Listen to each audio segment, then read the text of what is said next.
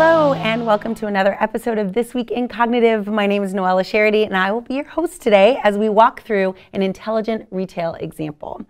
So, we are going to be using a bunch of different uh, technologies, a bunch of different intelligent services provided by cognitive services. And I just want to go through a couple of them just to remind you of the things that we have available in some of our pre-built models in Microsoft AI.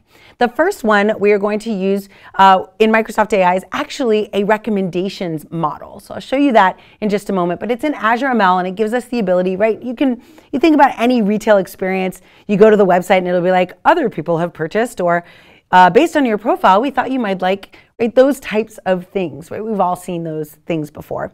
Um, and then we're going to get into a intelligent agent experience, right? An assistant, and that assistant will help the shopper through, um, you know, buying and asking questions about what they want to buy. Now, what we want to do is integrate really cool things like computer vision in order to let the customer pass in images instead of having to type in what they want, right? Or also be able to use uh, location-based services and understand where users located and how to easily find our store. And then we also want to integrate our entire back end of our company so that we can offer to the customer the ability to talk with a very specific product expert and be able to analyze who that is and who's the closest expert so that the customer and the associate have the best experience possible. So let's take a look at it. We'll dive right into the sample. So in this sample, we are actually going to be using a bunch of different technology. And in this technology, you could, if you wanted to go and test some of it out um, without having to download a, or clone a project or build it out um, in Visual Studio, you could just go out and test out some of these services. So I just wanted to point you to AI demos. And in AI demos, you can see some of the latest and greatest things that we have got going on in cognitive services and in AI in general, right? So you can see face, face recognition or speech recognition, text analytics. Look, you'll notice AI route planner. We're actually going to be using quite a few of these technologies in this next example that I'm going to walk you through. So I'm going to start here, and I'm actually just going to refresh the page. Um, so you can see the original experience, right? I come, I'm ready to shop. So here you see a bot, right, popped up in order to be an assistant and help me through my experience. So I come in, and the first thing that it does is ask me, right, how can it help me, which is great. And I might choose to speak in a language, right, that's different than this. So let's say um, I might say like, uh, you know, what do you do, what do you sell or what do you do, right? And it comes back in Spanish. So we're using the translation cognitive service to actually do translation. First, it does language detection to figure out what language I'm speaking, and then it translates it for me. And now, of course, I could go back and say, you know, something in English and it will translate it back into English. So it's able to communicate in the language of the customer. There's 60 plus languages that you can use and we're adding more all the time. So it's certainly something that you want to consider as you're, um, you know, trying to open up the accessibility of your app, right? Increase the amount of people that can use it. Why wouldn't you add the ability for you to communicate in a language that your customer would know better than English, for example? So now what I want to do is actually go through the process of buying a watch. So I can go in, say I want a new watch, and you'll notice what will happen is, is the model, uh, in this case, I'm using um, a machine learning model to go in and say, oh, based on your profile, you already, like you can see, the page automatically shifted to show me watches that I would buy, fitness watches. Turns out in this case, I don't actually want that one. So I'm going to say, no, that's not quite what I'm looking for and it'll say, do you have a photo? What a, this is such a better experience than, for example, me saying, describe to me in text and type in what kind of watch you'd like, right? Instead, just go find a photo that you want. So now I'm gonna go ahead, select a photo. In this case, I go out to like InStyle magazine, find a watch that I like, say, this is it, this is beautiful. And you'll notice what happens now is that the site, again, takes that watch, it's using object detection, part of the computer vision service, and you'll see it actually extracts out the watch part of that picture and presents it on the page. Now I'm able to do a custom search through Bing search in order to pull up products that are similar to the watch that's in the picture.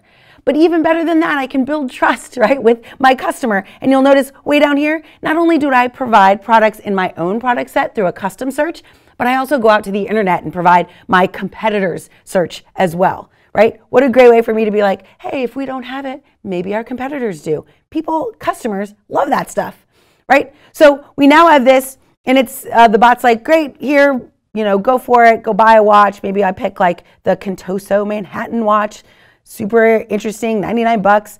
And look, as soon as I selected it, the bot now knows that I've made that selection, right? It says, how do you like the watch, right? As Litware Rewards member, you'll get 10% off.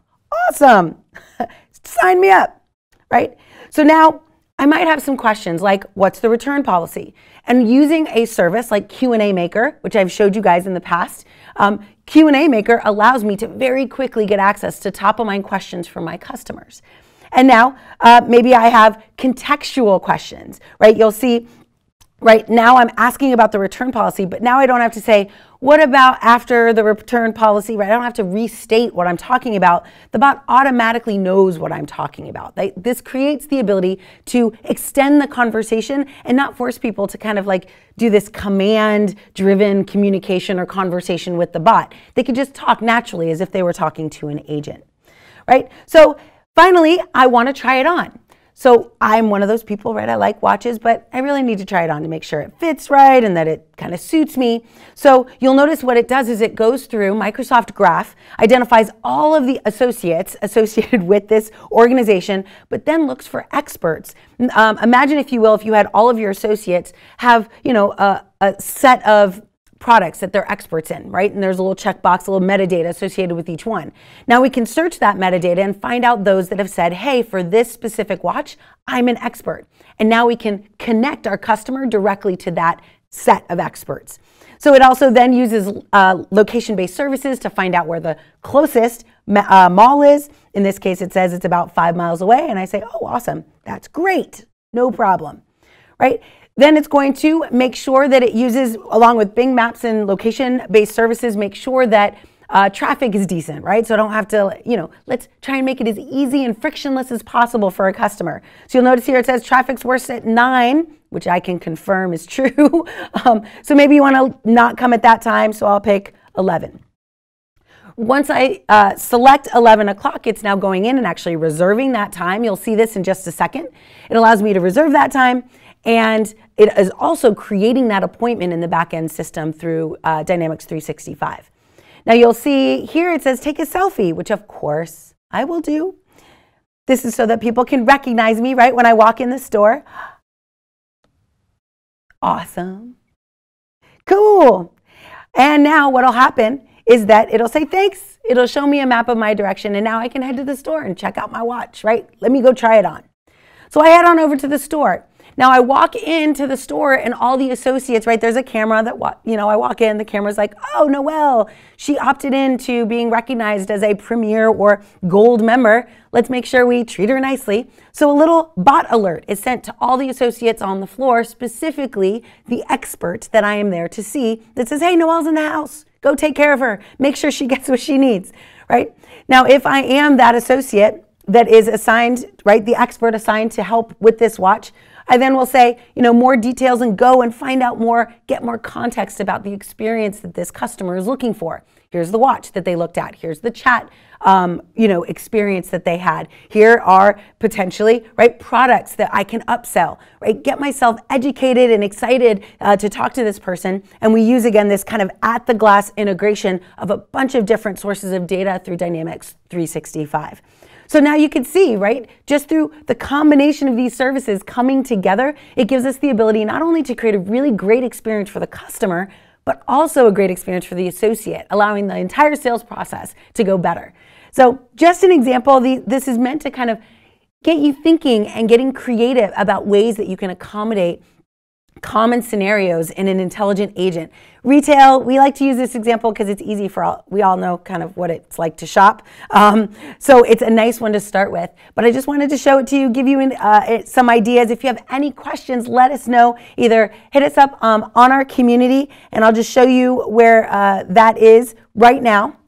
So you can join us on the community, ask questions not only of us as uh, members of the project product group itself, but also all sorts of members of the community that de develop uh, in this technology every day. So thanks very much. I hope you enjoyed it, and I'll see you in the next episode.